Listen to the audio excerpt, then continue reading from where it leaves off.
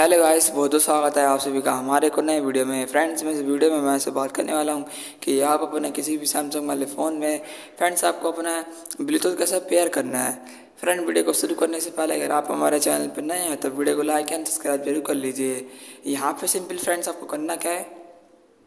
Settings पर click कर देना है। सेटिंग्स पर क्लिक करने के बाद यहाँ पर आपको कनेक्शन पर क्लिक कर लेना है।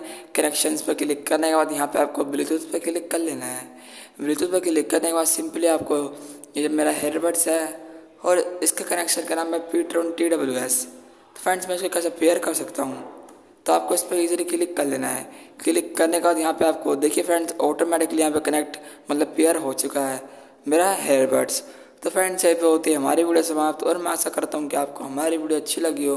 अगर वीडियो अच्छा लगी तो लाइक एंड सब्सक्राइब ज़रूर करें। मिलता हूँ मैं नेक्स्ट वीडियो में। तब तक के लिए good bye friends and thanks for watching my video bye bye friends